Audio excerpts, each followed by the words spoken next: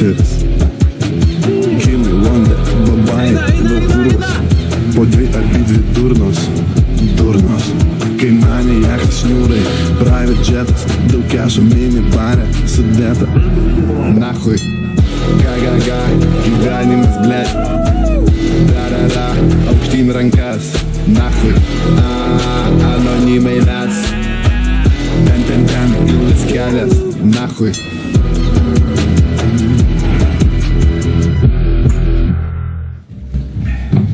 Paskutinis klausimas.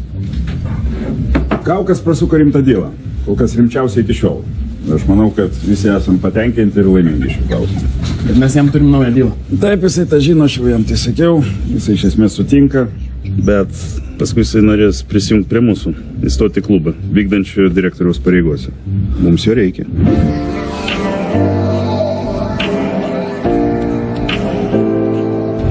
Nelabai suprantu, prie ko iš čia klube. Nu, žmogus nori turėti savo dalį. Čia normalu.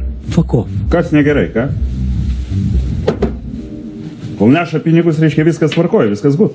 Aš manau, kad jis to nusipelnė. Savo žmogus, patikimas. O kai bus su mumis, bus dar labiau suinteresuotas. Nu, tai tegu ir toliau neša, gauna savo procentą. Jūs pamiršot, kad jis patologinis pislys maniekas. Na, aš tau to žinoma nenuneiksiu, bet iki šiol tai nekenkė ir netrukdė jo darbo rezultatams. Jis padarė mano dalę. Nu, tada jis nežino, kad jinai tavo mergina. Sužadėtinė. Mūsų santoka vos nesugriuvo. Kalbant apie faktus, jinai nebuvo tavo žmona. Dar. Jis zakristijų ją atkalė. Ko čia, blėt, vyksta? Tu suka! Dieve, kiek tu gyvensi su šitą stigmą, ką? Kiek jau metų? Praėjo šeši? Nesuprantu, nu, puikiai sutarėt su dalė. Ar į tągi irgi tikiuosi tavo? Come on, Hebra, ne apie tai mes šiandien kalbam. Nu, Nekiškim čia kažkokių asmeniškumų ar vaikų. O to labiau kalbant apie vaikus, tai kaukui čia mažiausiai pasisekė. Va, va. Karma is a bitch. Aš suprantu, kaip tu jautiesi, Sigi. Triusikų susimausiu. Taip pat aš lygiai taip pat jaučiausi, kai tu mane ant babkių išpisai. Palauk, palauk, palauk, aš tau, aš tau viską gražinsiu. Tai dėl to tu ir slėpiesi Londone. Mėnesis maksimum du. Man reikės gražinti tavo skolą, aš ją gražinsiu už savų. Gerai. O kaip dėl pavadinimo? Hm? Vadinamės 3D klubas. Priimsim jį, ką tada? Pasivadinsim 4K. Turiu uždaryti projektą. Ne, durniok. Mes galim pakalbėti, įsiaiškinkim. Rokai, pasikalbam.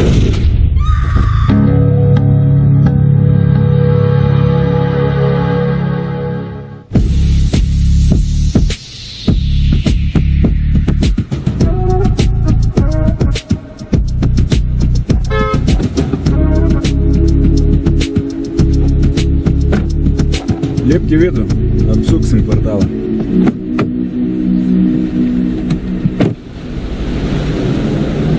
Pasikalbėjom, yra prieštaravimų. Dainis, dėl mergos. Nu, dėl žmonos rokai. Tai, Nu, kaip jau sakiau, yra prieštaravimų. Bet iš esmės visi sutinka. kaip turiu suprasti tavo dėka, Nu, ir savo skoloj. neįsijausk. Jeigu vaikystėje už tave porą kartų kažką baladau, nereiškia, kad skolingas visą gyvenimą. Aš noriu, kad jums tikrai manęs reikia. Rokai, mums tavęs reikia. Tiesiog dainius tau noriu skirti dar vieną užduotį, paskutinę prieš tau įstojant. Ok, susitvarkysiu. Ant galinės sėdynės yra lagaminai. Išlipdamas pasimsi, mums reikia atplauti pinigus. Ir tą padarysim per kriptovaliutų kasyklas klaipėdai. Klaipėdai. Kas problema? Nemanau. Tau tai reikia pristatyti pinigus, prižiūrėti procesą, pinigus atsimti ir svarbiausia niekur neįsivelti.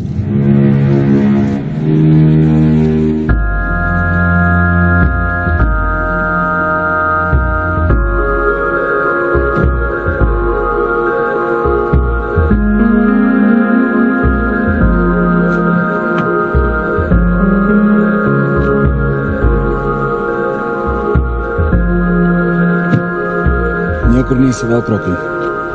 Būsi vienas iš mūsų.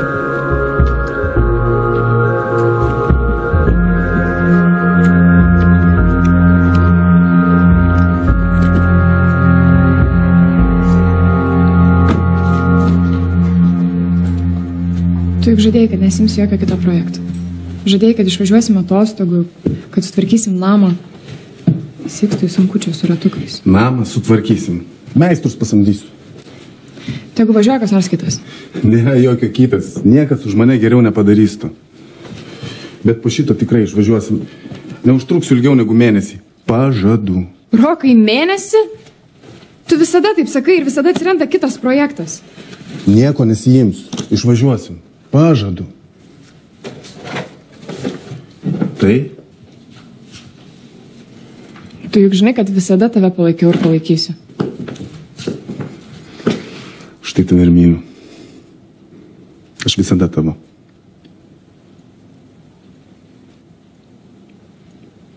Na? Tu visada mano. Aš visada tavo.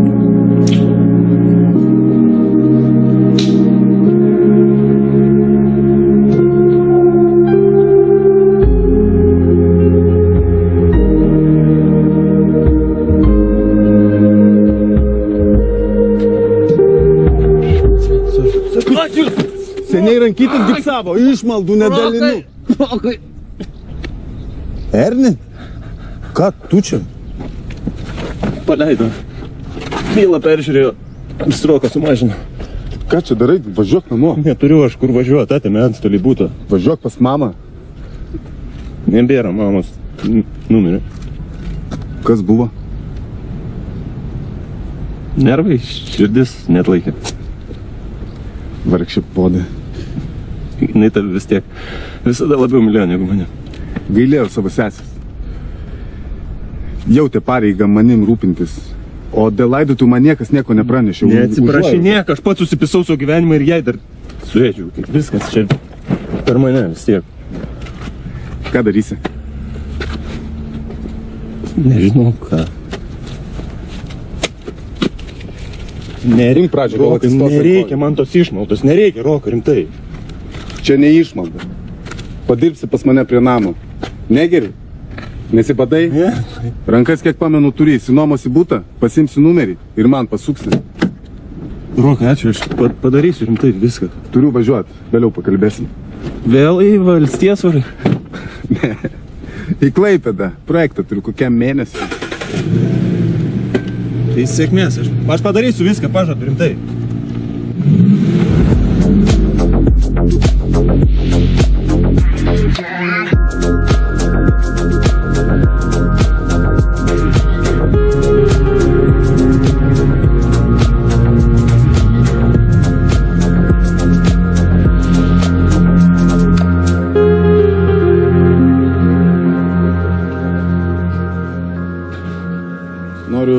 Dviviečio su vaizdu į miestą.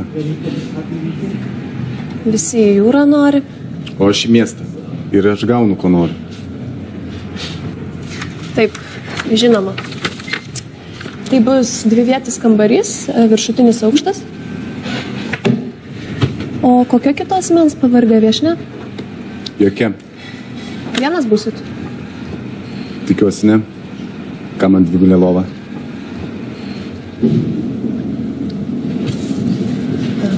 Tai ačiū labai.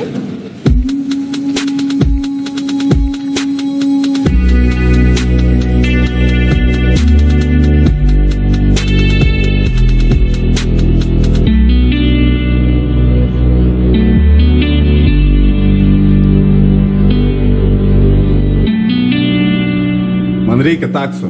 Noriu į klubą valyti. Kuris čia pas jūs geriausias? Aukso dulkės, aišku. O tai mes jau tūsintis varom.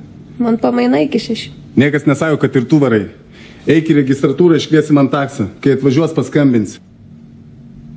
Supratau. Eik dirbti savo darbą. Taip, bet mes. Tu negali taip su manim elgtis. Pasinaudoji ir viskas. O tu nori ženytis? Bum.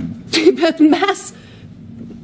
Maniau, kad tai yra teisėsgi kažkokios. Galvoji, paimiai man į burną ir turi mane kažkokias teisės? Aš tau tai pasakysiu. Kiek spėjai nuryt? Tavo. Eini į registratūrą, iškvieti man taksą. Eik tu šikti gerai. Leibojus atsirado, blėt. Takso nepamirš.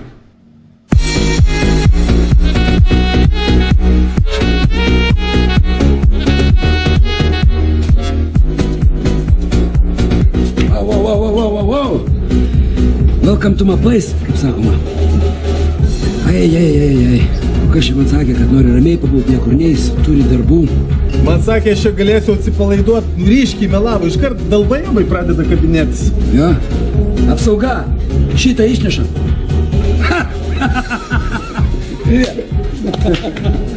Nu, seniai klaipada nebuvai. Jo, po teismo taip ir nesilankiau. Aišku, išskyrus tos atvejus, kai su Irma Siksta veždavom vasarą į delfinų terapiją.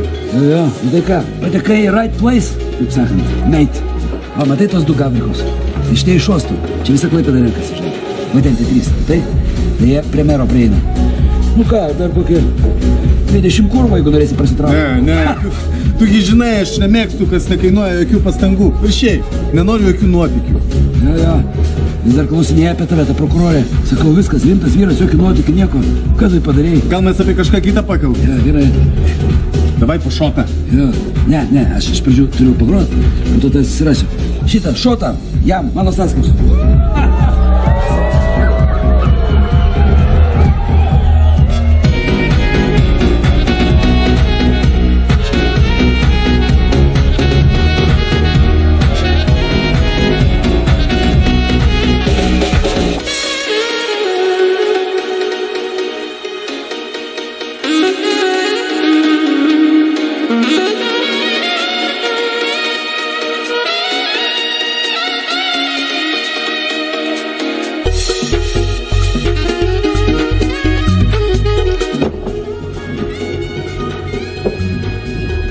Čia laisva. O jūs taip iš karto ir sėdat. Aš neatsakiau taip ar ne. Aš neklausiu. Rokas, turistas iš Vilniaus. Man tas pats. Ką gersi? Užsisakykit ką nors savo, nuo naglumą. Viso gero. Tu, man kaip visada.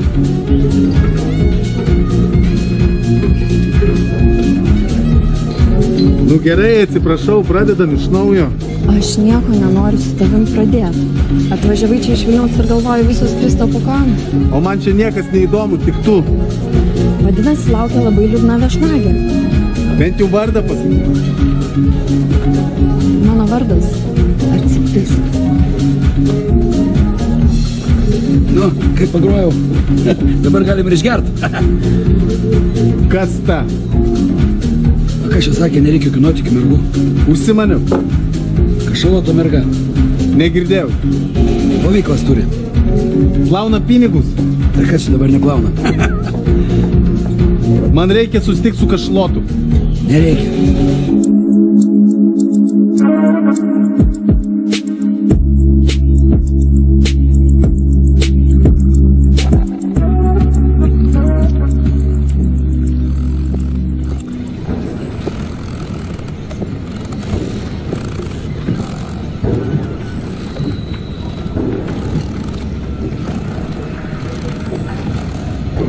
Че надо? Skambinau nuo Šaro. Туфли сними. Садись. Инга, налей нам что-нибудь.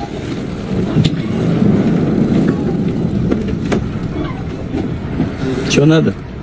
Rusiškai nesuprantu. Заебись. Виленсkas rusiškai nebubu. Ko tau reikia? Turi plovyklas. Gerai tvarkaisi. Mes norim investuoti į tavo verslą. A mes tai čia kas? 3D klubas. Ašyti. Nu ir nahuja man tavo babkės. Aš savo plaut nespėju. Žinau. Per daug susikoncentravęs į kontrabosą. Šaibų per daug, plovyklų per mažai. Respektas, kad bandai net kreipimą į dėmesio, bet anksčiau ar vėliau užsilenksi. A čia mano jobanas reikalas. Aš sakau, kaip bus. O man pohui, ką tu sakai. Aš 30 metų taip dirbu. Ir tu pats sukas atvažiavai mane mokyti. Blet, kaip aš jūs tokius pažįstu, Vilenskus. Ant tėvų šaibų užaugę, o patys ką darot. Koks aš neojate ir su naujais bimbalais tutelės daužo. Jeigu atvažiavai mane mokyti, tai susirink batus ir piznink nahu. Netėjau tavęs mokyti. Aš tau siūlau normaliai atsiplaut šaibas. Mes investuojam į tavo plovyklas, pastatom naujas, šalia tavo šešių atsiras 20. Sukursim patrauklų brandą, investicinį portfelį ir parduosim už dvigubą, trigubą rinkos vertę. Wow. Ir aš liksiu be savo plovyklų. Galėsi pasistatyti naują, jeigu tau per mažai. Nu gal ir neblogai jūs ten Vilniuje moko. Aš Stanfordą mokiausi. Čia Amerika. Nu gerai. Pabandom. Idėja gera. Bet jeigu tu mane raibinsi, tu juk apie mane girdėjai. Aš apie visus girdėjau. Einu pamišti.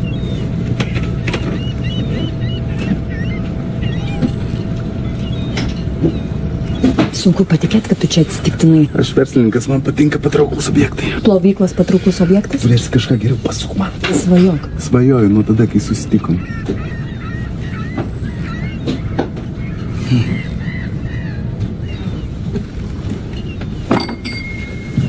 Atmėtim. Turiu šiandien dar reikalų, bet ačiū už vaišingumą.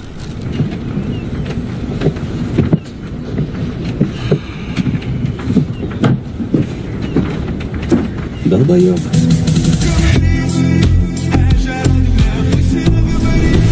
Kaukas turėjo labai gerą savybę. Jei ko imdavosi, tai pasinerdavo į tą reikalą visą galvą. Tik va dabar, dėl tos pačios savybės, viskas išvirto šūdiną pusę į viršų. Jis ėmė mėtyti mūsų babkės tam, kad suviliotų jam patikusią mergą. Kriptovaliutoms skirtus pinigus Kaukas sukišo į kašalotą biznį. Priplanavo tiek tų plovyklų, kad Klaipėdoje nebuvo tokio skaičiaus automobilių, kuriuos reikėtų nuplauti. Bet jam buvo pofik. Tau iš vis atrodo, kad tu gali leisti savo gyventi ir elgtis kaip nori. Tu pagalvoji apie mane, tu pagalvoji, ką nors apie Sikstą, tu pažiūrėk man į akis. Tu mane girdi? Kaukas pamiršo viską. Nesirūpino užduotim, dėl kurios buvo siūstas. Padėjo skers ant mūsų, savo darbdavių, apleido šeimą. Vieną naktį trynėsi apie tą mergą. Dabar ji buvo jo projektas. Mes viso to nežinojom. Ir juo pasitikėjom. O jis tuo pasinaudojo. Ir mus apipiso. Švelniai tariant.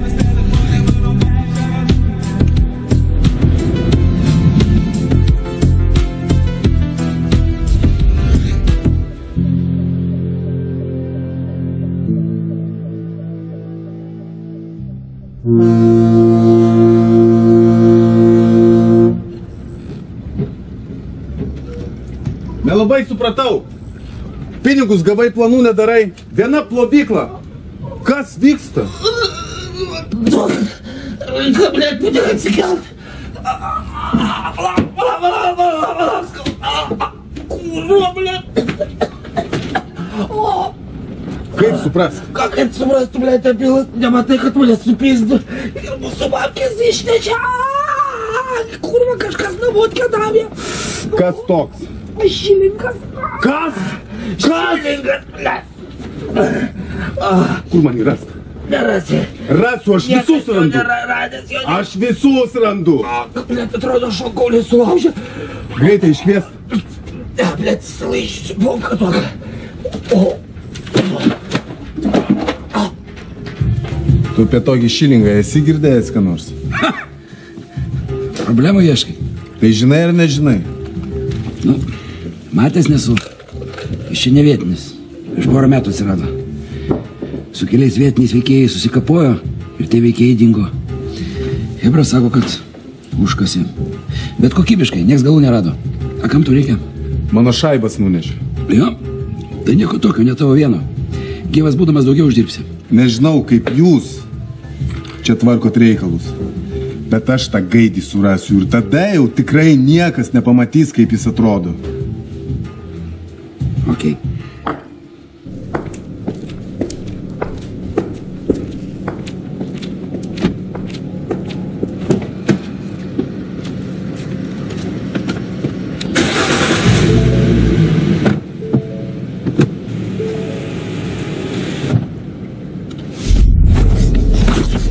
Sėdi ramiai, rankas ant vairo. Tai tu, suka, tipo tas šilingas. Kam šilingas, o kam dėdė. Šaibos. O apie tai ir noriu pasikalbėti. Tu tik ieškai manęs po visą miestą. Tavo babkių neturiu. Kašalotas kitaip kalba. Pisa protą. Tave lengva prigauti, atrodai nedurnas. Jei aš iš tikrųjų būčiau kašalotą grabinys, tu nieko nebūtų papasakojęs. Supratau. Tai tu manęs nepažįsti. Nusuka kašalotas gudrus, galvoju, tu išeisi ant manęs, aš tave užlenksiu, o pats liksiu tavo šaibą. Blet, tie žmonės kalba, kad mokslus Amerikoje baigiai. Apipiso tave kašalotas. Man šiaip jūsų santykiai vienodai paišo. Bet jeigu ant manęs kas nors pradeda batoną trupinti, pizda man nepatinka. Viskas supratau, paleisk, laisvą patelės. Jie nedurnavosi.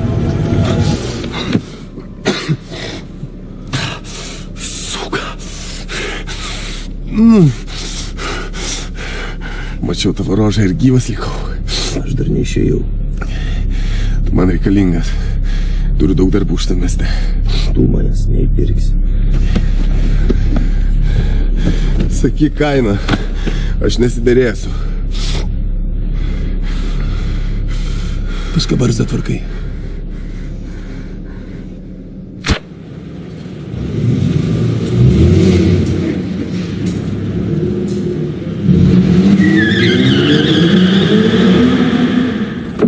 Man sakė, jis nydoj. Padėsi atpažinti. Nu, kad nežinau, žinok. Aš labai fragmentiškai jį tada mačiau. Aš iš vis nemačiau.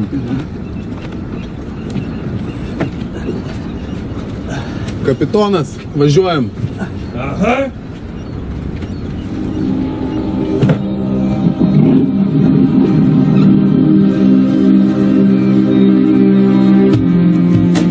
O sakei, nepagausi. Aš visus surandu, visus pagaunu. Tai ką tu jam darysi? Tau leisiu, taigi tau šonkaulius subaladojo. Labai dar skauda. Ne, nelūžo niekas, praeina. Kas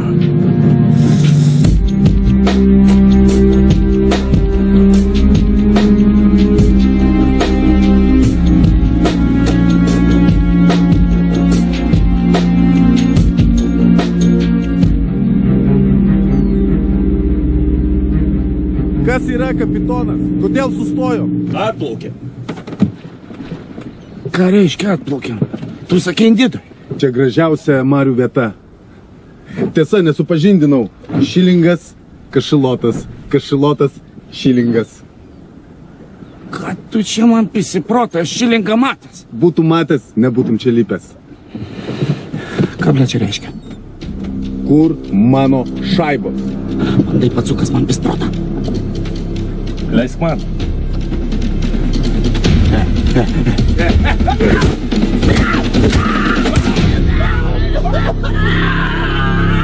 Dabar tikrai šonkauliai lūžo. Girdėjau. Ko? Neturiu, neturiu, aš tavo šaibą, tas gaidys tave duhina. Blogiausia ne tai, kad tu mane apipizdinai. Blogiausia, kad tu visą kaltę suvertė jam. O ne? Kur mano šaiba? Pasakysiu, pasakysiu. Mano garaže, minijos gatvėje. Žmogus nuvažiuos patikrinti. Gerai, gerai, gerai, tik į ligoninę nuveškit. Palibomų šokaulis plauti. Pergrandė. Viskas. Stok! Stok! Aš neturiu pretenzijų. Į ligoninę, leid greičiau. Tu ten visiems beldėm pasakyk. Šilingas nors ir vagis, bet už teisybę, ble. Palauk, ką pasakyk?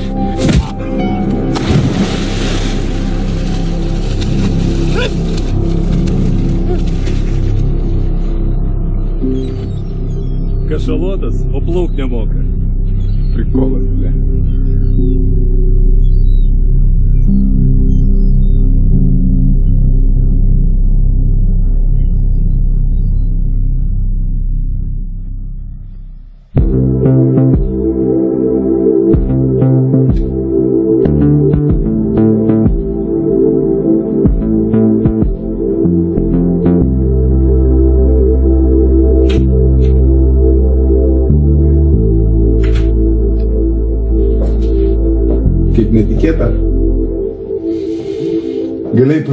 Būčiau susitvarkęs. Aš su tavim nemiegosiu. Galiu tave pavaišinti.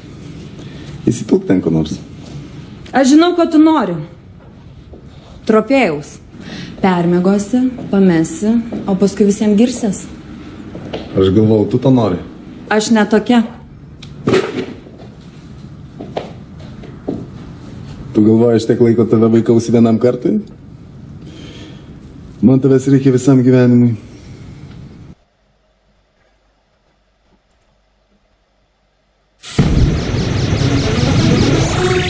Čia tavo pirminė fazė? Kiek kartų ją kartai? Pirmą. Aš tavęs nepažįstu. Nežinau iš kur. Kas tu? Žmonės tam ir susipažįsta.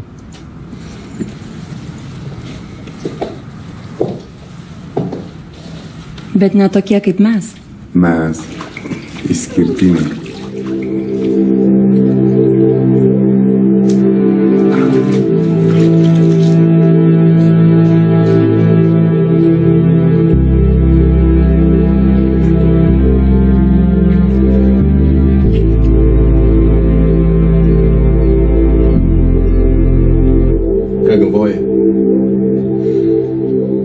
Turiu blogą nuojautą, kad sušiksi man gyvenimą.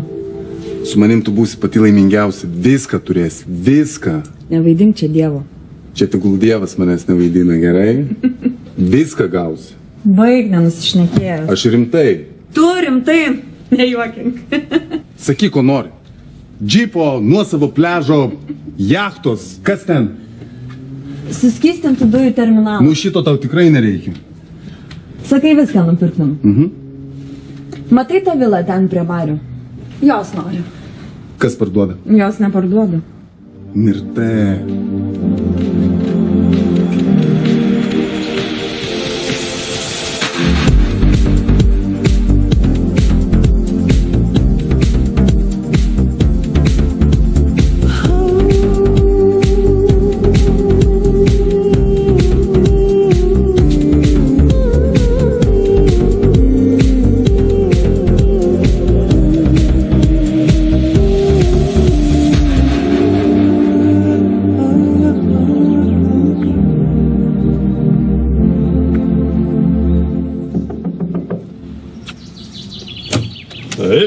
Labą dieną. Wow, čia jūs gyvenat. O ko jūs ieškojate? Ei, ei, palaukit, kur tu? Norėjau su namą pagirti, aš ten matot gyvenu viešbutį, tai jis man akis bado. Norėjau pasakyti, negaliu atsižiūrėti. Ačiū, ačiū, O, palaukit. spa, koks vaizdas, koks sodas. Tai čia žmona rūpinasi. Atsiprašau, o mes su jumis pažįstame? Labai atsiprašau, Rokas Kybartas, tikrai net važiavau trukdyti. Noriu jūsų namą pirkti. E, Labai atinga, bet žinote, man tie spaudos jokeliai apie pardavimą, kainą tikrai atsibodo. Jūs būdai čia... e, Aš nejuokauju. Kiek norit už jį? Aš jo neparduodu. Neparduodat? Ne. Net jeigu dvigubai daugiau negu kad buvo parašyta spaudoj. Palaukit, jūs, jūs, jūs manęs ne, ne, negirdite. Pusantro milijono. Klausykit, bet tai yra rimtos sumos, tai... tai, tai... Ir tiek pat už vaizdą. Jis nuostabus. Sakiau jau. Žmona čia, ačiū. E, 200 tūkstančių pridėsiu už ekstra pardavimą, pinigus turiu su savim, sumokėsiu dabar pat. Nesijaudinkit, pinigai išvarus, aš investuotojas. Aha. Man su žmona reikia pasitarti. Aš už 15 minučių turiu kitą susitikimą. Tai paskubėkit. Taip, ačiū.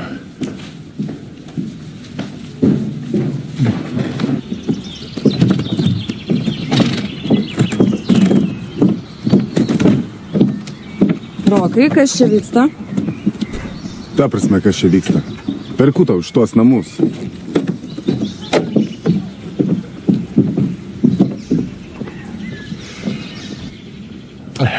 tai e, mes čia su žmona pasitarėm ir... Supratau, sutartinius dalykus tvarkysim rytą, dar įsikraustysim. Pa, palaukit, bet mes nespėsim, tikrai e, mums reikia gal truputėlį daugiau, supratau, supratau, E, bet sumą forminsim tokią, kokia yra portaluose. Aš esu viešas asmuo, žinote, GPM. Iki rytojaus. Taip, taip. taip. Čia viskas tavo! Opa. jūs, jūs su jie čia žadate gyventi? Čia svajonė, ne gyvenimas. Jū- jū- Jūs matomai ne vietinis. Tikrai nieko apie ją nežinot. Čia didžiausia mūsų uostamieščio, atsiprašau, kurva.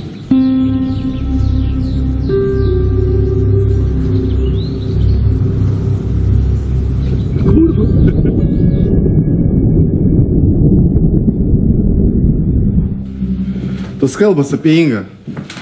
Jos tikros? Dabar aš tau pilsiu, ką nors. Nieko nereikia. Tugi žinoj. Tu viską žinoj. Ieškau progos tau pasakyti. Dabar kaip tik tinkama. Vėliau ateikite, gerai. Žodžiu, Visi jie čia žino, iš to platmėj. Kalbėk normaliai. Kurva? Aš nežinau, nuo kokio skaičiaus vadinasi kurva. Šarai, Nu, blia. aš tau realiai sakau, nu nėra ta tradicinė kurva, kuri ateina pasipisa, pasiema babkės, nueina pas kitą. Nors, aišku, buvo ir taip, bet nu, ten buvo kažkokia eskorta užsieniečių, o, o, bet dabar jinai yra realiai rimta moteris, kuri su kopisas įstojo ir gyvena. Aišku, jeigu niekas daugiau nepasilieka. Tu pats prašai, kad aš... Ša, bliat!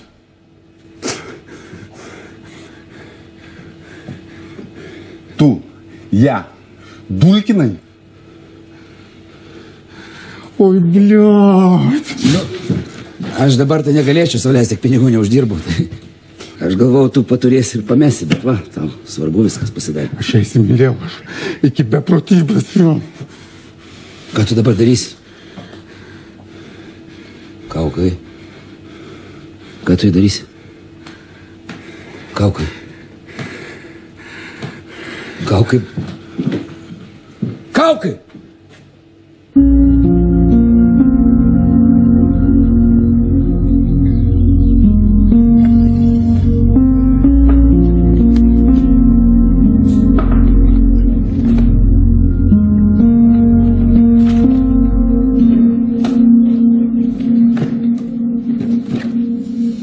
Čia taip gražu ir tiek daug vietos. Turėsiu atskirą spintą batam, atskirą spintą tašėm ir viskam, ką tu man dovanojai. Tik žinai, kad atsikratysim šitos senos sofos, bus daugiau erdvės. Iš viso kam čia ta sofa? Blogi prisiminimai? Kokie prisiminimai? Dėl sofos. Nu čia, kai lankydavaisi, tu apačioj ar viršui ant sofos gulėdavai? Ką tu čia nusišneki? Tu rimtai galvoji, aš nesužinosiu, kad kas antras tave klaipėdoj dulkinės yra? Tu rimtai tokia durna, tu galvoji, man niekas nepasakys, kad tu paskutinė šliuha? Aš išeinu ir net nepradedu apie tai kalbėti. O va dabar mes pasikalbėsim. Ką tu čia vaizduoji? Galvoju, tu vienintelis, kuriam patinku, man pusę klaipėdos po kojom kristų. Tu geriau sakyk, kad pusė klaipėdos į purną paėmus. Ką tu čia šventą vaizduoji? Galvoju apie tave nieko nežinau, eini ir dulkini viską, kas juda. Paties prokurorė po visą klaipėdą ieško, gal paskambint žmonai papasakot, kokiam investicijom užsiemi. O čia žmonos nekiš ne tavo reikalas. Tai ne tavo reikalas, kam aš ėmiau ir kam neėmiau. Oi, tik nevaidink čia man Dievo motinos. Gal tau naują spintą dovanom nupirk? Ar stelažą ragų kolekcijai? Pašol tu! Idiotas, pasimk viską, viską susirinkti. Patų nepamiršk.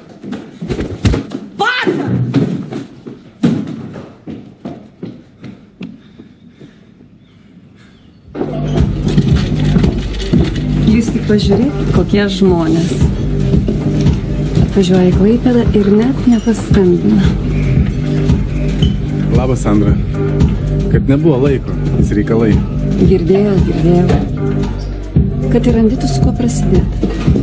Kas yra? Aš tau tada kažką netaip pasakiau ar padariau. Aš nesiskundžiu. Tai gerai, nes jau galvojau, gal kažkas netaip su manim. Aš tave žiauriai pasiilgau. Ir jo. Net nežinau, kurio labiau. Sandra, aš biškinę nuotaikoje. Tai aš tau ją pakelsiu. Aš tam durgelį ir sakau, klausyk, taigi visą klaipėdą pertraukus yra. Aš sakau, kaip tam vaido limtoti. Nu, tu žinai, aš pasižiūrėjau žemėlapį, nu, netokia didelė ta klaipėda. Sorry, merginos, bet a, vyrai, atvirai pasakyti, kuris mūsų nesam jos stratinės, kokių debilų turi būti, kad tokiai kurvai namą pirka. Čia ne tai, kad kurva, čia kurvų kurva. Ji ne tai, kad kurva, ji galėtų kurvų nekilnojimo turto agentūrą atidaryti. Gerai, viskas, sorry, kabra, dantys semia einu pamiršti, gerai?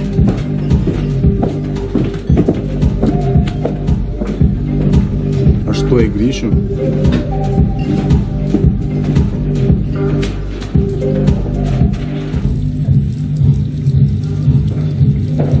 O, laduka. Kaip mūsų name gyvenasi? Jis labai patinka. Tai jau turbūt susisukot jau pulizdelį su savo mylimąją. Sukamės. Suka, suka, sukamės. Kažkas ne taip? Viskas labai labai gerai. Labai džiaugiuosi už jų čia dabar.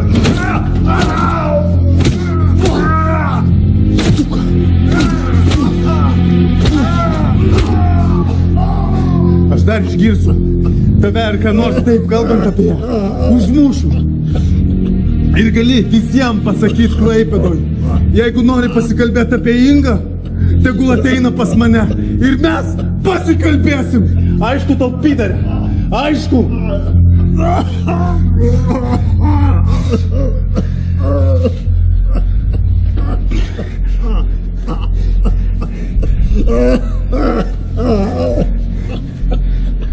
Prisibazarino.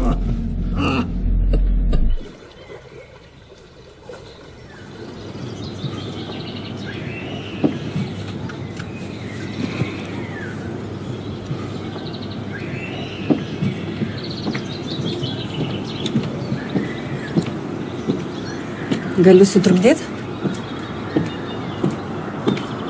Kaip tu?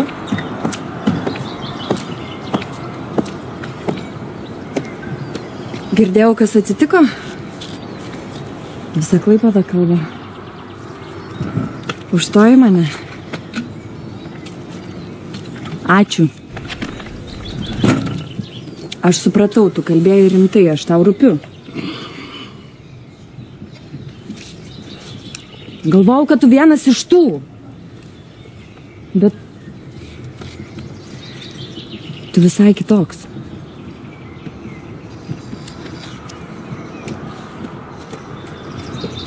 Gerai, gerai, turėjau aš jų daug prieš tai. Bet jeigu tu man atleisi ir leisi būti su tavim, būsi man paskutinis.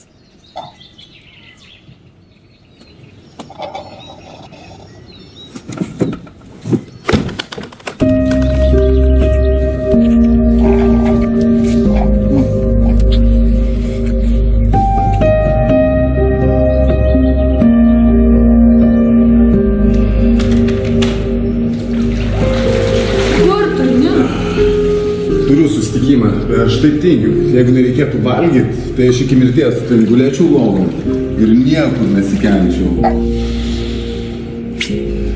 Aš noriu kartu. Nebesvai gerai? Aš noriu. Nuobodu bus darbiniai pezalai. Va, dabar aš supratau.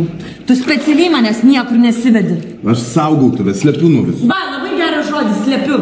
Tu slapstai mane, nes nenori su manim niekur kartu rodytis. Prie ko čia nenori? Nes kaip laikai mane kurva, taip ir laikai. Gal gėda su manim rodytis. Uždaryčiau kaip kokią pisą mamės ir niekur neišleidai. Aš jau dvi savaitės niekur nebuvau išėjusi. Nes neduok dievę, rokučiai kas nors pasakys pastabą, kad su kurva po miestą vaikštinėja. Nu ką čia nusišneki? Ką čia įsivaizduoji? Gerai, nori eiti kartu, einam. Gerai, einam ir šiandien visur kartu su tavim būsiu. Bet jeigu užsimanysi namo, Net kalbinė, gerai? davai greičiau, aš neturiu laiko.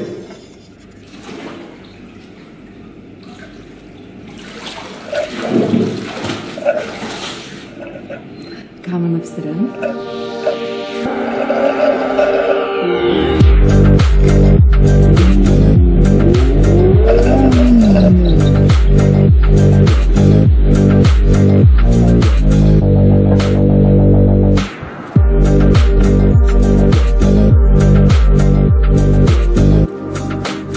galingumą pasakiau, apie iškasamus kiekius pasakiau, apie plėtrą pasakiau, apie finansinę gražą pasakiau. Tai kaip ir viskas. e, Viską kaip ir papasakojau. Dar kas nors. Kaip čia karšta? Pinigus perduosiu pagal klubo grafiką, atsimsiu taip pat. Smirda. Ryt privešiu. Labai gerai. Aš užsakysiu geležį. Aš jam nieko neduočiau. Kas tu negerai? Ko čia vartais? Kas tau gerai? Nematai, kad čia šūdas. Nelyskit verslo reikalus. Koks čia verslas? Tvartas, šiukšlynas kažkoks. Nei pačiam džiaugsmo, nei kitiem. Kai navaras skaičiuosi, tada džiaugsmas bus didelis. Klausyk, jeigu nori kaip šuo būdoj sėdėti, tai kišk čia savo pinigus. Nors aš skaičiau, kad bitkoino kursai krenta ir iš jų nieko neuždirbsi. Koks tau skirtumas? Ne tavo pinigai. Atšok. Gerai. Daryk kaip noriu. Aš varau degintis. Bobus. Kursai įkrenta. Smegenys iš durnumo įkrenta, aš su lamba važinėju.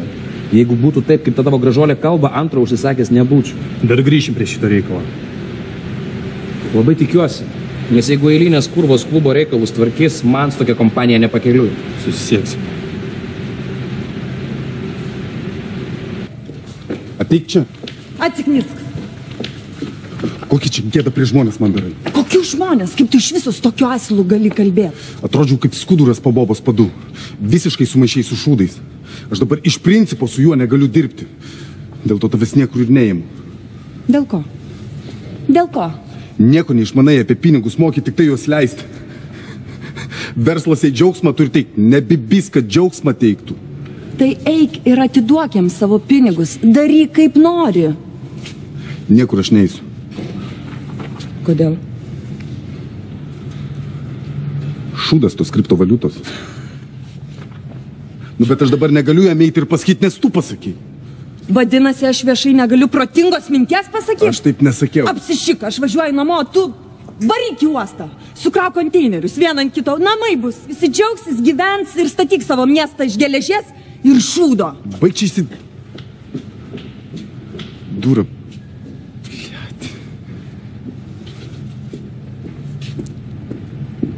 Kas dabar? Myliu tą mergą. Geniali. Taksą iškviest?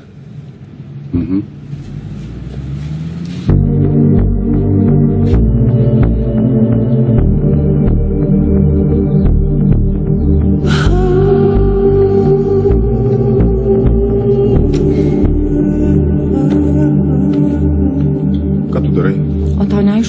Klausyk, nedurniuok, ašgi tavęs atsiprašiau. Negirdėjau. Nu tai dabar atsiprašiau. Tu buvai teisi, kai išėjai, aš kai ką pagalvojau. Padėk tos daiktus, paklausyk mane. Nelysk! Ko tu dar nori iš manęs? Ko aš noriu? Aš noriu, kad mane žmogum laikytum, kad mano nuomonė tau kažką reikštų, kad gerbtų mane. Tu man viskas. Netrodo. Aš noriu būti pilna teisė tavo moteris. Nu tai taip ir yra. Ne, tai būtų, jeigu būčiau tavo žmona. Ir jeigu tu sakai, kad aš tau viskas, įrodyk. Ai, tai tu šito nori. O tau iki šiol neaišku. Nusipratau. Viso gero. Klausyk, viskas, baigim, sutinku. Tik tai man pradžiai reikės įsiskirti su žmona. Nieko tokio, aš palauksiu. Klausyk, baigiam. Ateik pas mane.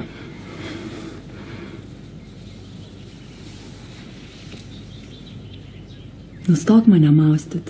Užtenka. Kai išsiskirsi, tada ir sugrįšiu. Блядинга!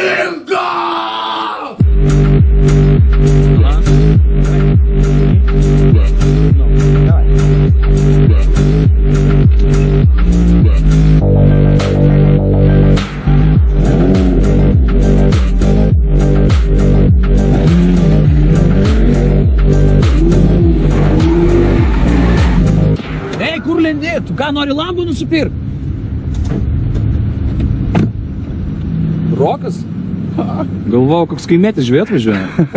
Mes kaip tik pas tave važiavom, geležies pripirkom, nenorėjau naujos mašinas gadinti. Geležies? Nu jo, jo, mūsų kripto biznį. Pala, pala, aš galvojau, jūs babkės aš geležį. Jo, jo, bet aš pigiau gavau. Skaunu vežam Andriejui, įvertins. Ką manai? What the fuck?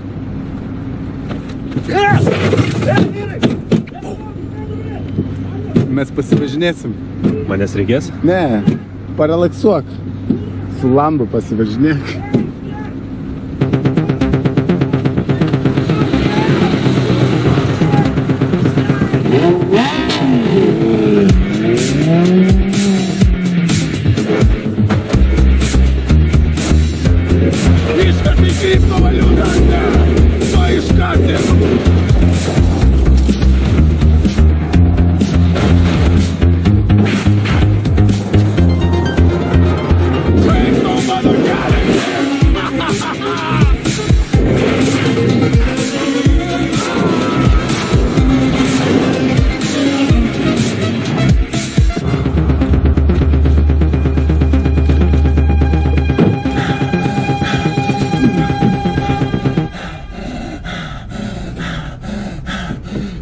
Tau bus verslo pamoka.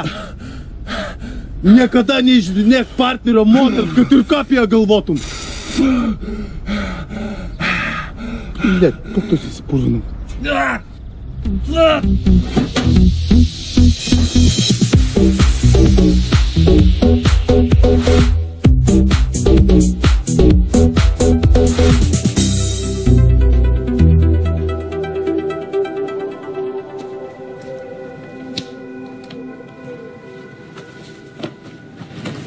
pagaliau.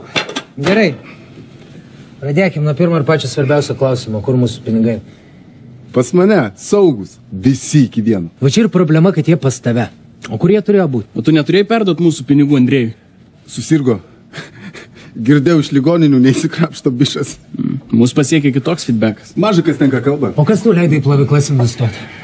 Jūs kažkaip manęs negirdi. Aš sakiau, su tuo kripto kasėjim nepaėjo reikalai. Pinigai turi dirbti. Improvizavau. O namas ant Marių kranto irgi improvizacija. Ką? Iš kieno babkių pirkai namą? Iš mūsų. Ei, kolegos, Palauk, tu čia į draugus nesiprašyk, čia tau ne Facebookas, ištaškiai mūsų babkių. Jeigu jūs man leisit Blet, prapisai viską!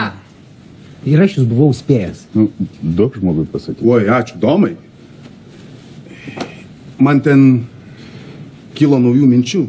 Ir kadangi aš greitai būsiu vienas iš Nebūsi. jūsų, tai leidau Dainiau, sau. nu, jau juokinga, nu, neužsiciklink. Leidau savo išvelgti naujų perspektyvų. Ir aš tai pagalvojau, jūsų pinigai, pinigai, jūsų, galim uždirbti daug daugiau. Ilgalaikį. Nepistų mum pro. Dainiu. Klaipėdos turizmas.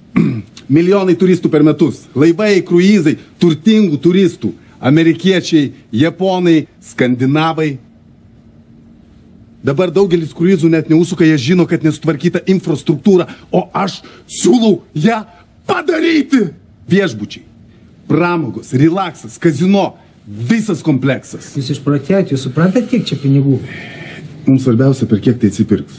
Aš viską paskaičiavau. Paimk domai. Gerai, mums reikia pasitart.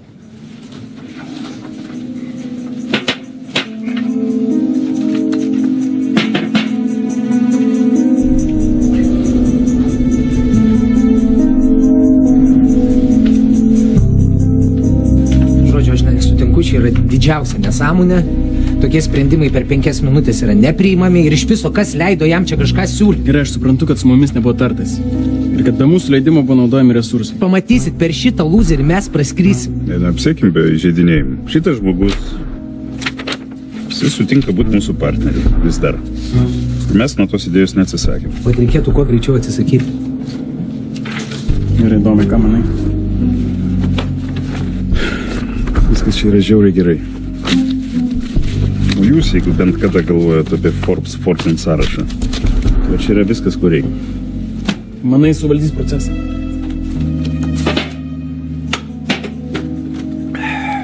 Aš manau, kad tik jis ir suvaldys. Prabalsuojam.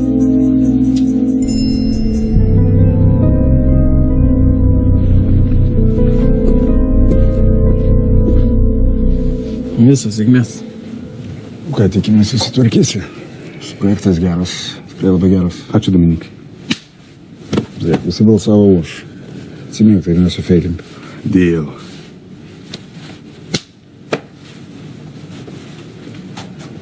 Ei, palauk, palauk, dainiau. Negaliu man mytas už 10 minučių. Mes taip normaliai ir nepakalbėjome. Bet nėra apie ką. Klausyk, nei man faina, nei ką. Žinok, tikrai nežinau, kad ji bus tavo žmona. Ko tu nori? Ne, čia tu sakyk, ko tu nori. Aš nenoriu būti tau priešas. Mes kitoj klube kartu būsim, sakyk, ko nori, viskas, būnam atsiskaitę. Nu, aš dabar nesigalvoju. Bet tavo pasiūlymą priimu. Sugalvosiu pranešiu. Kada tik patogu. Ne viskas iškart. Alio? Lietarė, kas yra man mytas? Taigi sakiau mytas. Nevalgysiu. Nu. Valgyk, valgyk, į mane nežiūrėjęs. Pasilga tai ir žiūri. Valgyt gauna kiekvieną dieną, o tėvą mato kartą į mėnesį. Daug darbų. Jie vis kažko naujo užsinori. Kas čia?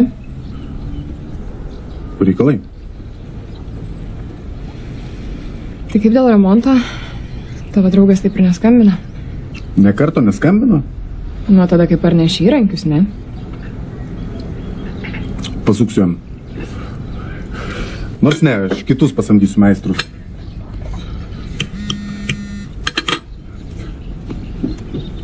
Kitą savaitę. Žinai, va dabar paskambinsiu prie tavęs. Nes paskui išvažiuosiu, vėl reikalai, darbai, viskas pasineš. Tu vėl išvažiuoji? Taigi sakiau, Nesakyk. gal pasimiršo.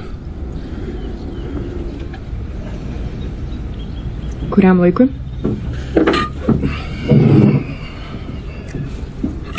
Nežinau, gal metam, gal dviem. Dviem metam.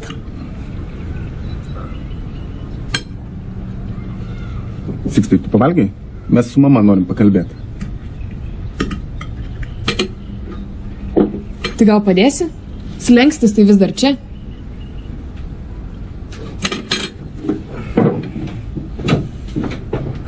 Rokai, tu metai. Tu metai. Tu įsivaizduoji, koks tai ilgas laiko tarpas? Man vienai susikstu čia yra per sunku. Mes važiuojam kartu su tavimi. Ne. Tu žinai, kokios ten specializuotos mokyklos klaipėdai tokiems vaikams? Kokios ten sąlygos? Ne? Šūdinos. Šūdinos sąlygos. Tai ką tu siūlai? Kas vėl tau rašo? Reikalai, darbas, aš galvoju. Rokai, aš galvojau pranešiu tau, kai bus tinkamas momentas. Tu girdi mane? Mes turėsim antrą.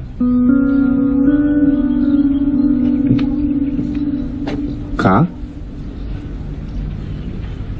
Mes buvom susitarę. Tu nesidžiaugi.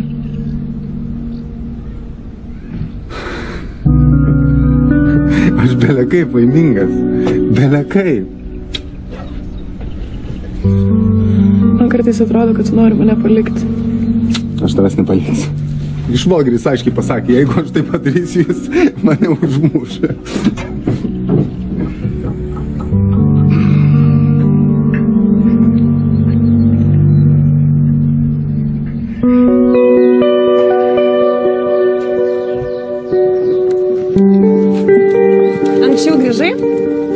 Negerai, nu dar galiu dieną viešbutį pagyventi. Kada teismo data?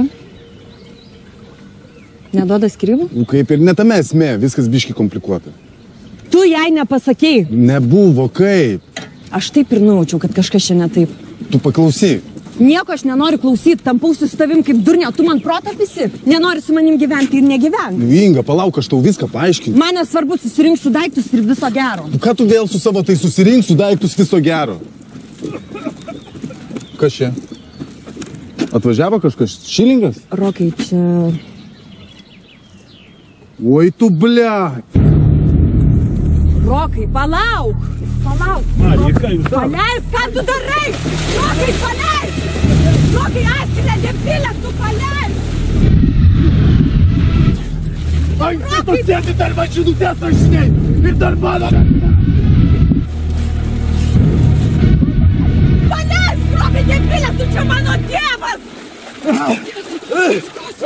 Atsikosi, viskas gerai. Eina. Debilas tu! Eina, eina. Padėk, nu!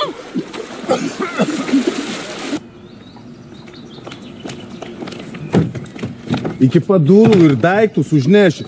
Aš labai atsiprašau dar kartą. Inga nieko nesakė, būčiau žinojęs būsimo uošvę, tikrai nebūčiau skandinęs. Nelysk! Inga dukrytė, prašau, dar nevėlu, tu dar gali pas mūsų grįžti. Ji tau atleis. Prašau. Užteks, važiuok.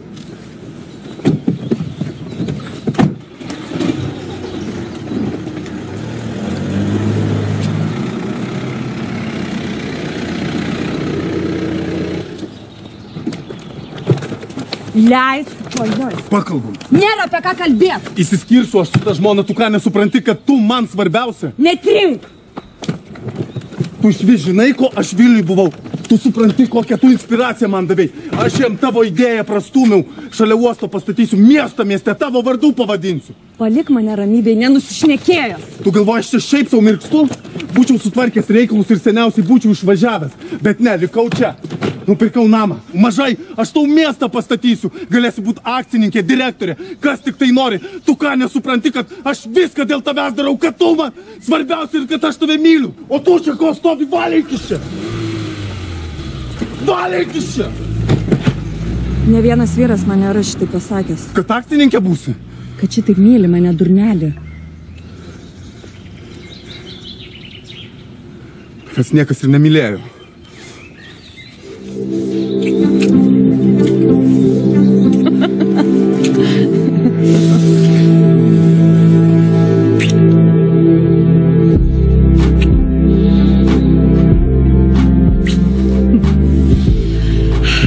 Ir pavydus. Aš dėl tavęs bet ką galiu sudaužyti vietoj.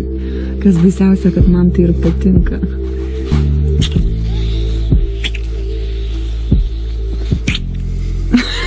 Bet tėvą tai žiauriai išgazdinai. O ko jis norėjo? Ką jis ten kalbėjo? Taigi girdėjai. O kas tau turi kažką atleisti? Motina. O tau viską reikia žinot. Ką negaliu? Kartais geriau nereikia. Aš apie tave viską, viską noriu žinot. Prieš visą šitą mylėjau vieną žmogų. Pradedu pavydėti. Tai tu nori žinot ar ne? Užsičiaupk.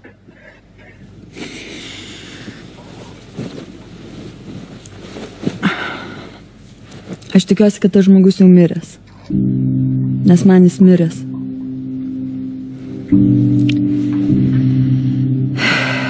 Jis man melavo. Iš kur jis, ką jis veikia? O kai paaiškėjo, tai buvo jau per vėlų.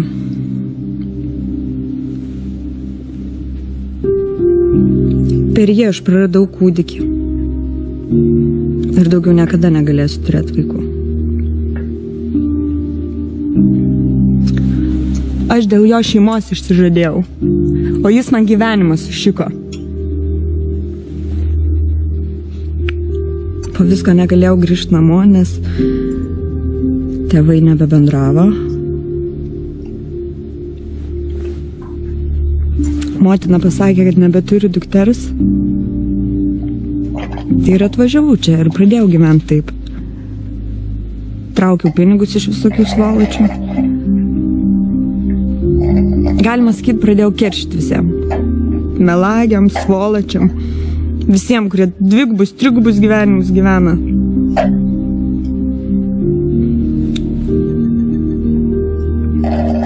Pasinaudodavau ir palikdavau. Tėvas sužinojo, kur aš tai ir atvažiavo namo parsivežti. Bet aš nebegaliu. Jie sako, kad gali man atleisti.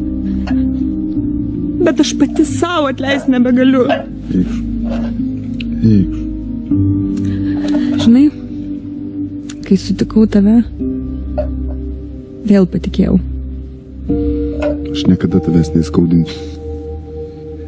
Niekam, niekam neleisiu tavęs iš manęs atimti.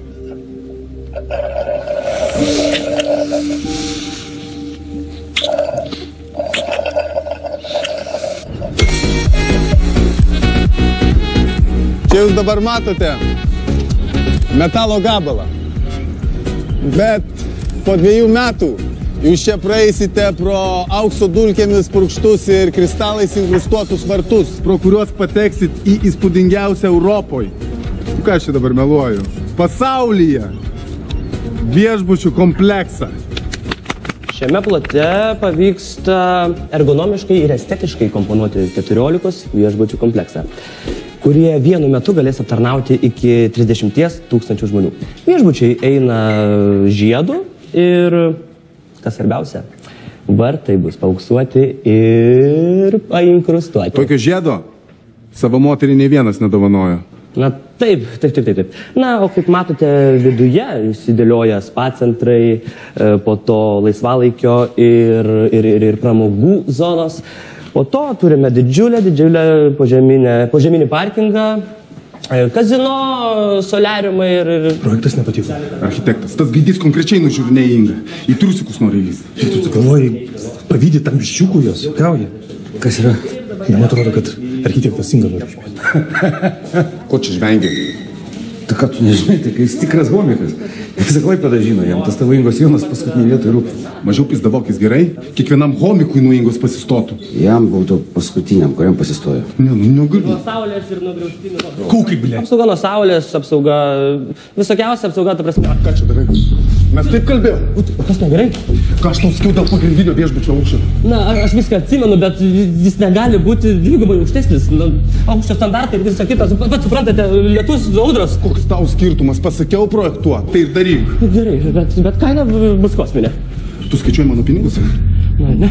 Aš tau sakiau, čia ne šiaip pastatai, čia dovana mano žmonai. Su juo mes pasaulyje turim išgarsėti, kad Dubajus apsiverktų. Tu galvoji, kai Šadžahanas Tažmahalas statė architektai atkalbinėjo?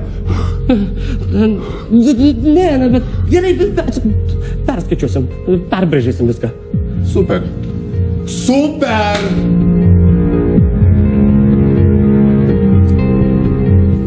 Tai kaip ir viskas. Štai toks tas mūsų kuklus projekčiukas.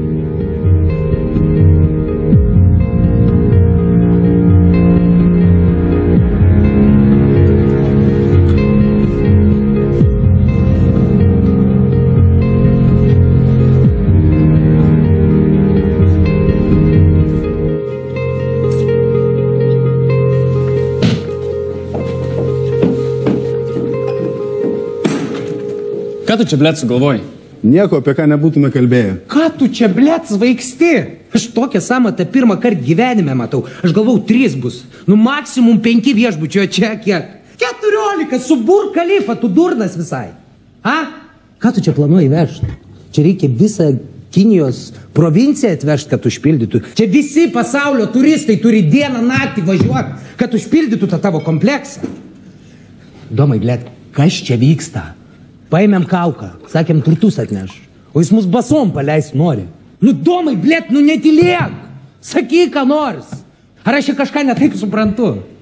Neduosiu pinigų šitai nesąmoniai. Viskas, be šansų. Aš nelabai suprantu. Prieš tai, kai kalbėjom, tai viskas lipo, tiko, dabar čiut paaugo samata, jūs ką, verkt pradedate? Blėt, tu čiut! Nuo trigubai skiri ar ne? Ar aš sakau, kad visos investicijos turi būti jūsų, padarykim pradžią. Tuos kelis pastatus, kaip tarėme, skaičiavom. Paskui eisim per fondus, investuotojus, bet jeigu mes norim kažką tai sudominti, mes turim turėti projektą ne trijų šikinikų. Mes kūrėm sensaciją. Aš matau, kad nelabai supranti, kokiai šaly gyvena. Tu patilėk, blėt, aš iš vis nesuprantu, kad tu toks trumpažiūris dalbajobas veiki klube. Jeigu jums čia kažkas nepatinka, galite susirinkti savo investicijas ir valyt dahui! Aš vienas pritrauksiu investuotojus. Iš tos pačios Kinijos, Singapūro, Dubajaus ar... Ir jūs žinot, kad aš tai padarysiu. Palaukit, žmonės, ramiai. Nebūtina vieni kitus įžeidinėti ir žeminti, ką? Mes ne to susirinkom. Tikslas yra uždirbti pinigus ir mes juos uždirbsim. Roko idėja gera. Nu, iš esmės gera. Tai padarom pradžią, stumėm tą projektą investuotojams, susigražinam pinigus, viskas, uždirbam. Vadinasi, ir išleidžiam tiek, kiek suplanavom. Daugiaugi neprireiks. A ne, Rokai? Man ką, ant kakto susirašyti? Ramiai. O jeigu neprireiks, tai ką? Dėl viso kito esam nubalsavę anksčiau. Dominikas teisus, jeigu viskas taip ir yra. Gerai. Bet aš čia taip vieno dalyko nelabai suprantu. O ką čia tarp akcininkų Inga veikia? A? Nuo kada mes savo mergoms projektuose akcijas pradėjom dalinti? Tai netrukus bus mano žmona. Zaibės. Ilga istorija. Klausykit, kažkaip šudinai pradėjom, bet pabaigiam tai visai neblogai, ką? Sorry už emocijas, aš dieną naktį gyvenu tuo projektu, svaigstu, tai aš viską priimu asmeniškai. Normalu. Galiu pavaišinti, niekur neskubat, gero viskio turiu.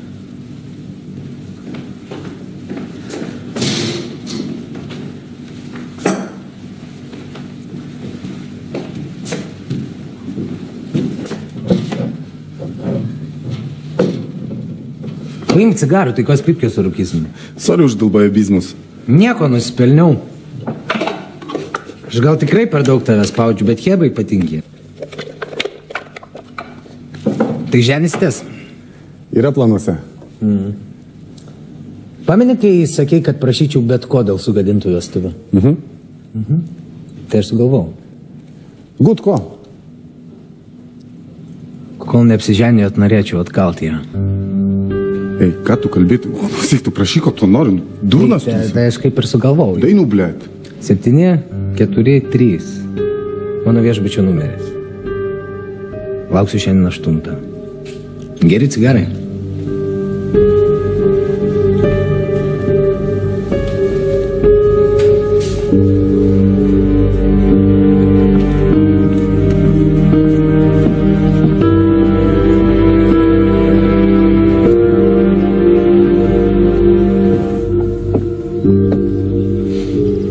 Išvažiavo? Mhm. Galvojau, jie tave gyvą suvalgys. Per kietas aš jiems. Tai kas negerai? Įtempta situacija, reikia kai ką padaryti.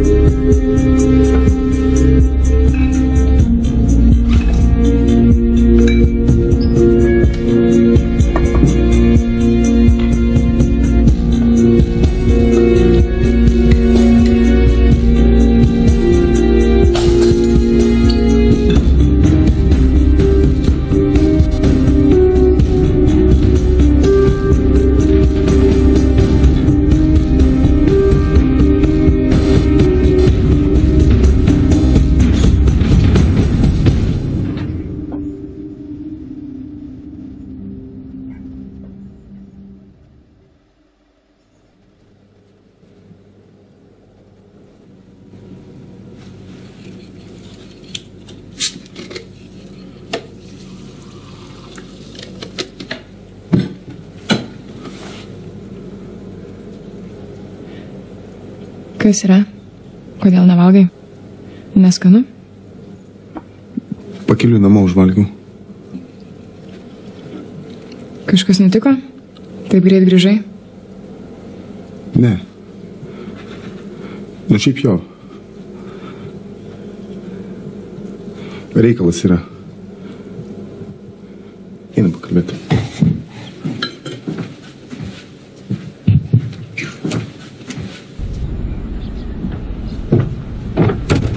Kas Negazdink manęs. Jums niekada nieko netruks. Neleisiu nuskursti. Aš pažadu. Ta prasme. Aš jumis pasirūpinsiu. Tu tik. Leisk. Leisk. Leisk.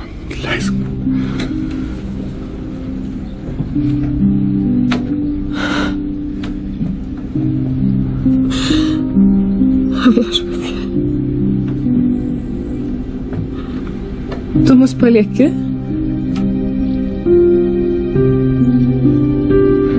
Rokai, aš nesusitvarkysiu. Susirink kitą.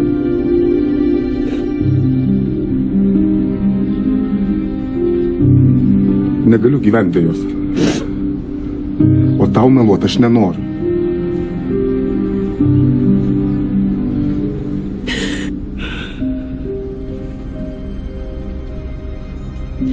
Tu nupirksi mums naujus namus.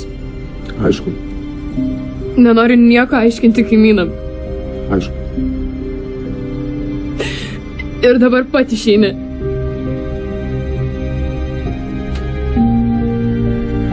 Aišku. Aš tik tai. Ne. Eik.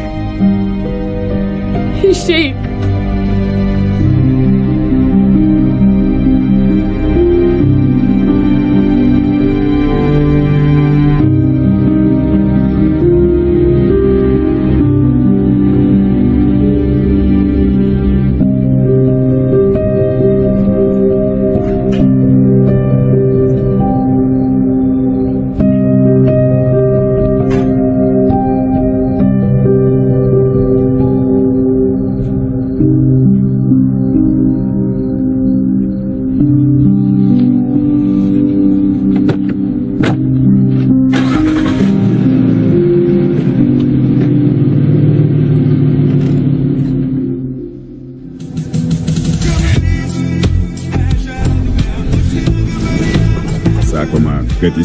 Įsimylėjęs neskaičiuoji laiko. Kaukui šitas posakis visai netiko. Jis neskaičiavo pinigų. Bet man reikalinga kiekviena ataskaita, kiekvienas čekis, kiekviena sąskaita, kur, kas, kada, už ką buvo pirkta, kur buvo išleista ir kokia suma. Aišku, lengva taškytis, kai babkės netavo. Išlaidos statyboms buvo ultrakosminės. Iš pradžių Kauka žadėjo tik įėjimo į viešbučių kompleksą vartus nupurkšti aukso dulkėmis. Dabar jau pradėjo atrodyti, kad jis nori ir visus viešbučius iš grino aukso pastatyti. Kiekvieną išleistą eurą jis galėjo pateisinti. Pabandyk pasiginčyti, tuo reikia, kad išeis iš projekto arba mūsų iš jo išrūlins. Belikdavo samatas patvirtinti, o kitą savaitę lauktų dar didesnių. Ir vėl su juo kapotis. Ir vėl patvirtinti. Durnas tu. Nu, bet tas, tas tai nelabai. O va šitas geras. Šitas man patinka. Aš durnelis tikėjau kauku. Bet viso to jam reikia projekto sėkmei. O jis šitą greitai įsikirto ir ėmė naudotis. Parazitas. Būčiau aš anksčiau viską supratęs. Kaukas statė visai ne viešbučių kompleksą. Jis kalė paminklą Ingai. Jų dviejų meilė. Gal paaiškins, iš kur tokios sumos? Ir labai skubėjo. Nes matyt jau suprato, kad vieną dieną mano kantrybė baigsis. Vyrai šefas. Kraunam, dirbam.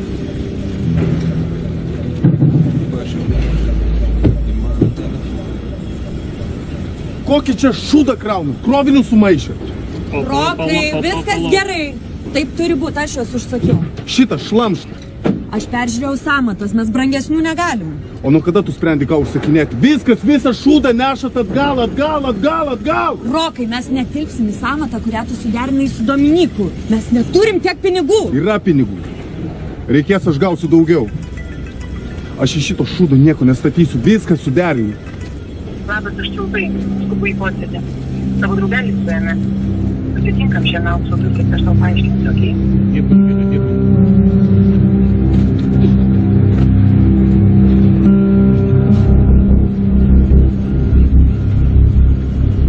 Šilingą suėmė.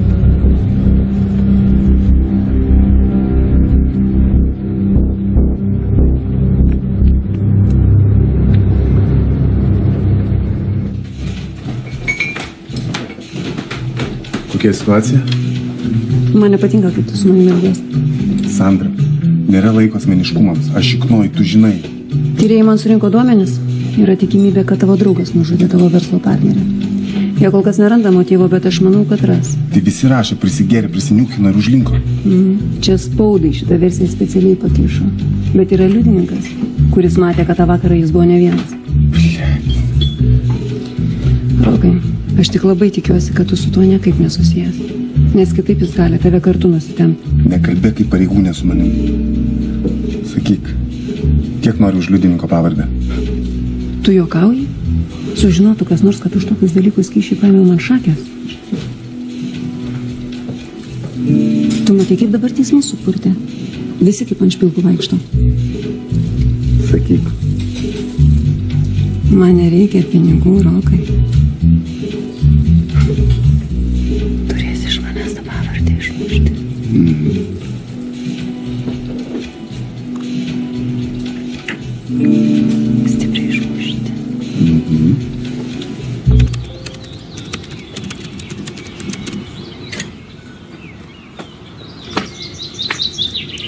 Roko nėra?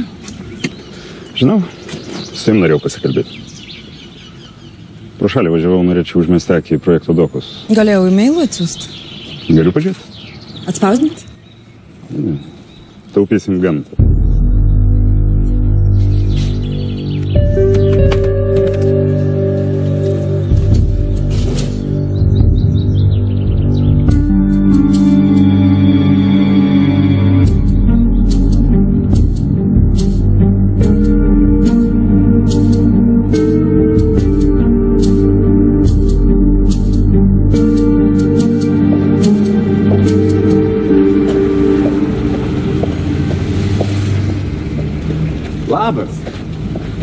Ei, ei, ei, ei, ei, ei, nebūnam vaikai, pasikalbam. Kas tau yra, vėl birka panižo?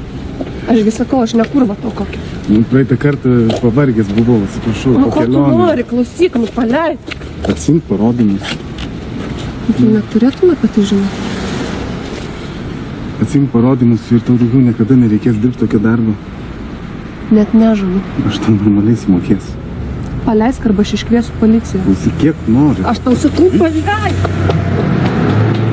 Eik, Tik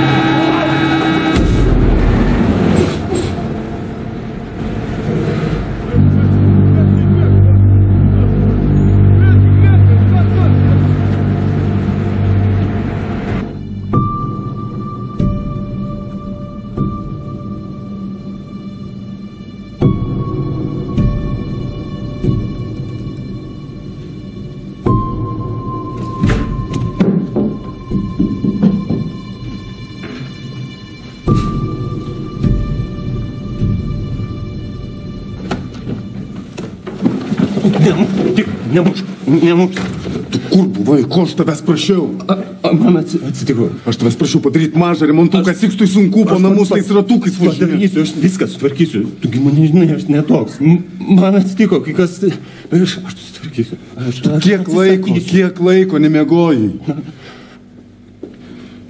Dabar įsimiegosi, ryt pakalbėsim.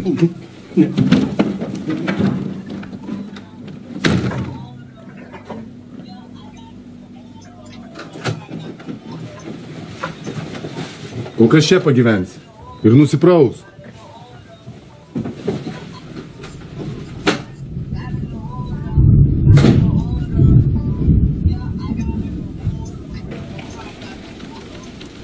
Nuvažiuosi į statybas, pažiūrėsi, ar geras medžiagas atvežė. Kad man nebūtų kaip aną kartą. O tu? Susitinku su šilingu. Paleido, pritruko įrodymų. Labas rytas. Mano pusbrolis Ernestas naktį atvažiavo, pamiršau pasakyti. Sės pavalgysi.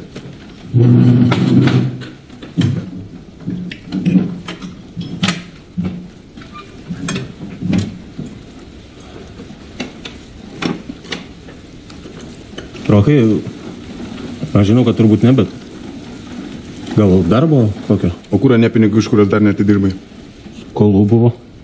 O šiaip reikalų visokių, žinai, išėjus sunku įsitvirtinti. Bet aš tau atidirbsiu viską ir ką prieš tai irgi atidirbsiu. Gali man iš anksto nieko neduoti, aš kai darbą padarysiu. Nu, žinai mane.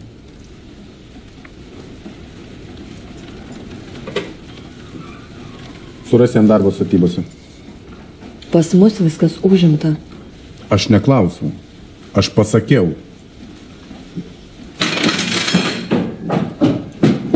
Net patinku aš tavo nuotakai.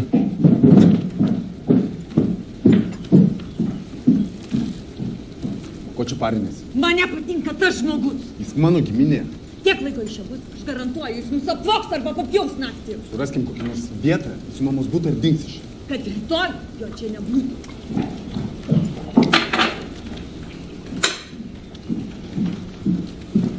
Nu ką, už įdomią patirtį?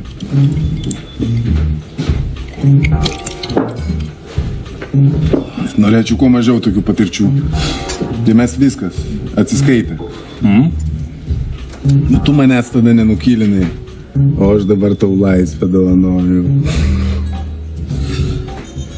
Tai aš tau daugiau nereikalingas. Aš tiesiog nejausiu įsipareigojimų. Tada aš galėjau daryti kaip norėjau, o dabar tau šikna pačiam degė. Bijojau, kad stuktelsiu. Ne, tu netoks. Nežinai? Aš pats nežinau. Šis įvykis mus broliais padarė. Visam gyvenimui surišo. Skesiu aš, skesi ir tu.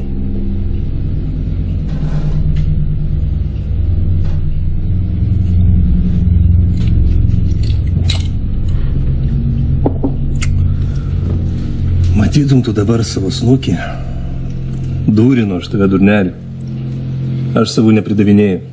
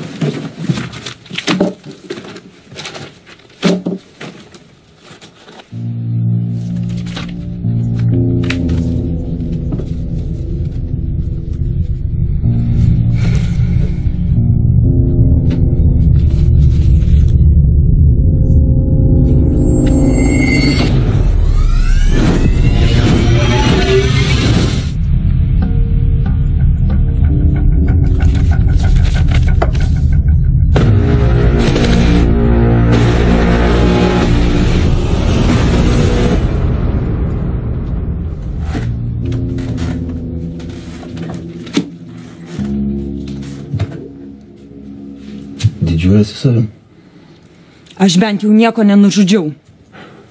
Savo savigarbą. Pamokslauji man? Tu, per kurį viskas atsitiko? Ten mane palaikė vienintelė mintis. Išeisiu, susirasiu tave, susigražinsiu. Bet dabar noriu tik tai grįžti arba mirti. Tai mirk! Per tave aš praradau viską! Negali manęs dėl visko kaltinti. Tu pati pasirinkai, kokia tu nori būti. Susirink daiktus ir dink iš čia. Taip ir norėjau daryti. Dabar visada būsiu šalia, kad matyčiau, kokia tu tapai. Tik išspręstum visas mano problemas.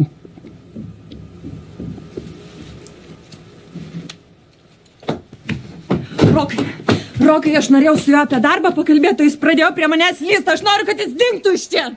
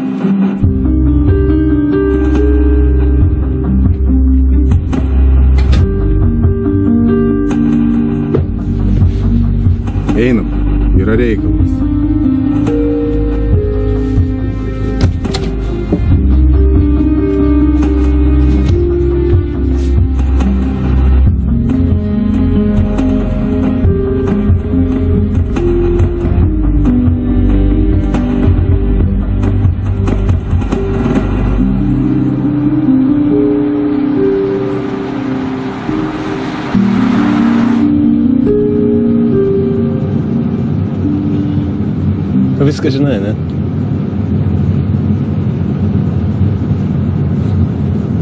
Aš neturiu jokių pretenzijų. Nu, jinai dabar tavo moteris. Jinai visiškai kitokia negu buvo prieš tai. Tarp mūsų nieko bendro negali būti.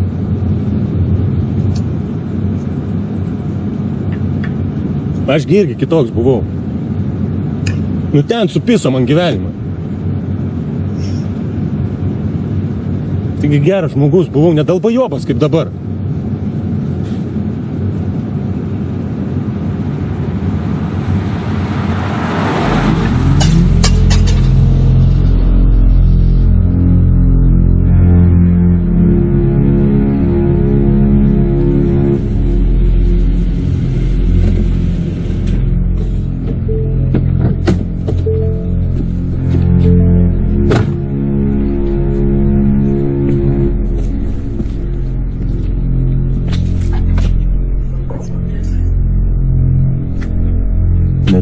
Esu.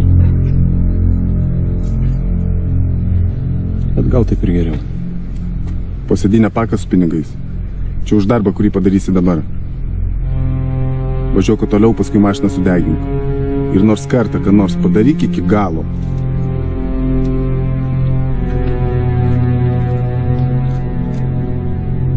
O apie tave ir Ingą aš nieko nežinojau.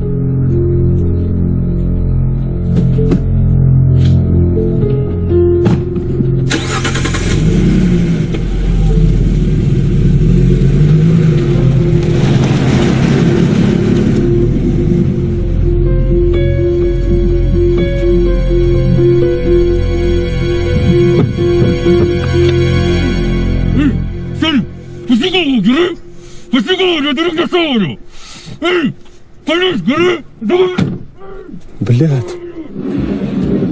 Ačiū.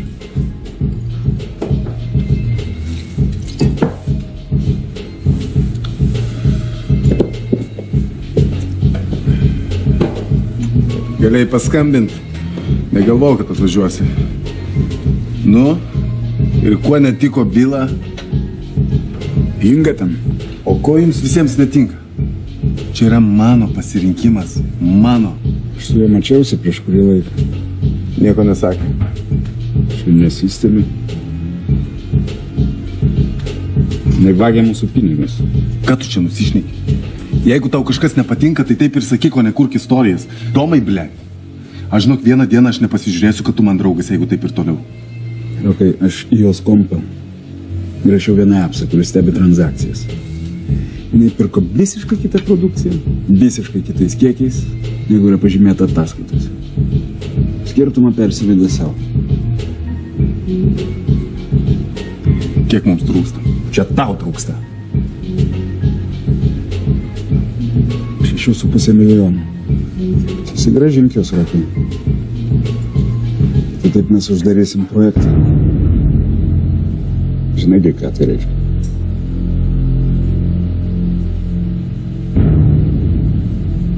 Pasirūpink ir man. Aš jai žadėjau, kad nieko netrūks. O Ingos nelieskit. Čia yra mano reikalas.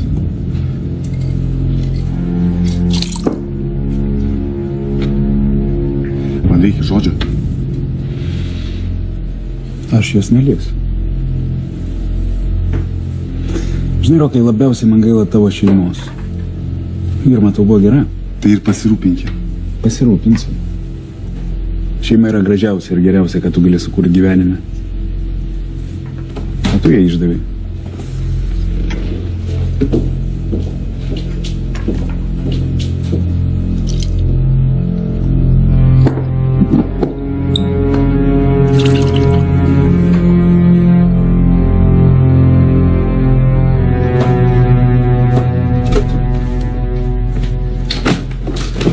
Dabar kas?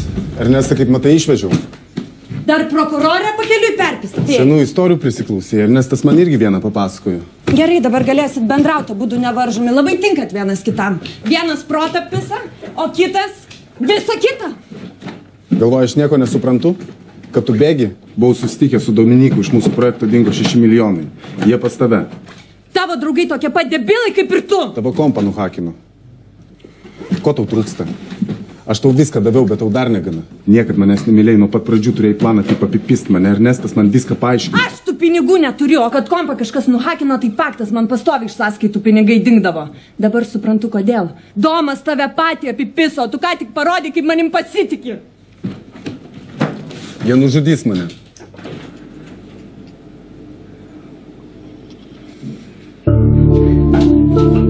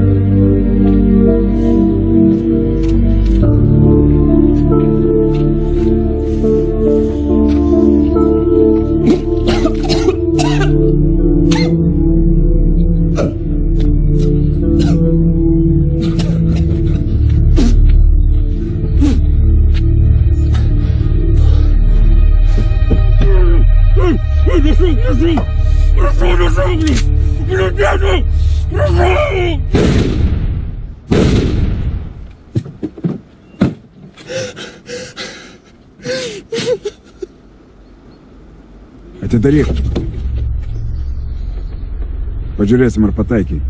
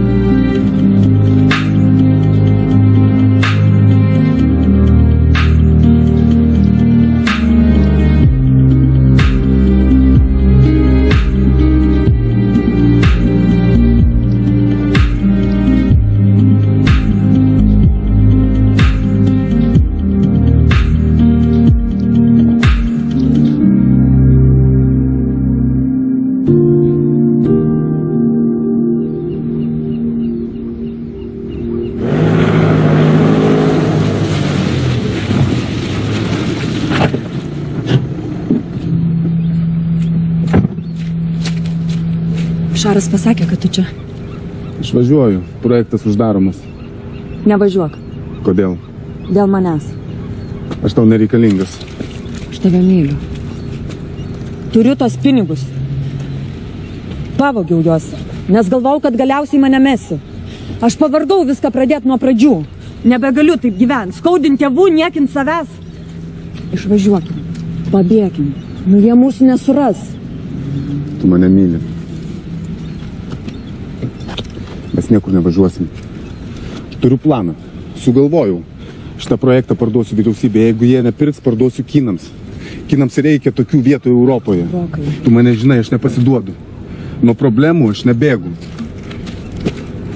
Lauk manęs savaitę. Maksimum dvi.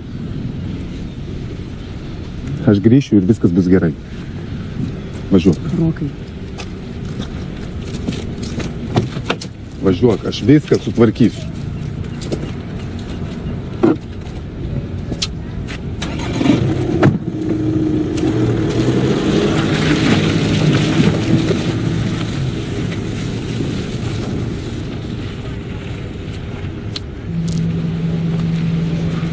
Baigiai? Ačiū, kad palaukė. Nieko nebepakeisi. Projektas sustabdomas. Žinau, tik negalvojau, kad tai padarysi tu. Kaip keista. Viskas dėl jos. Irmos? Stok į mano vietą.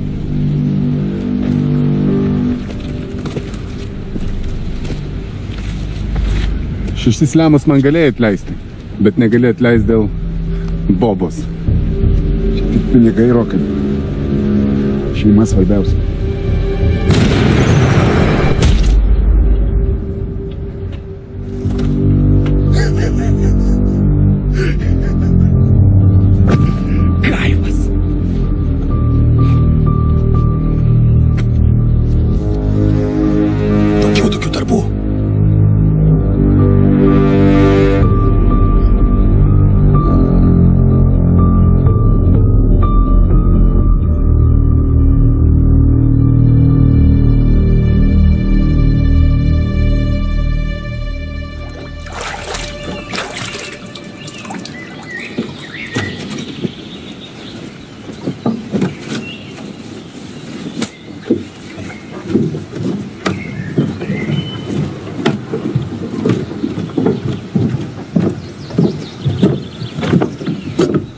Jo užkrito konstrukcija.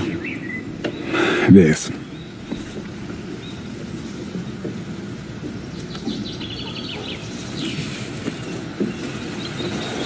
Žmonėm liko skolingas daug pinigų,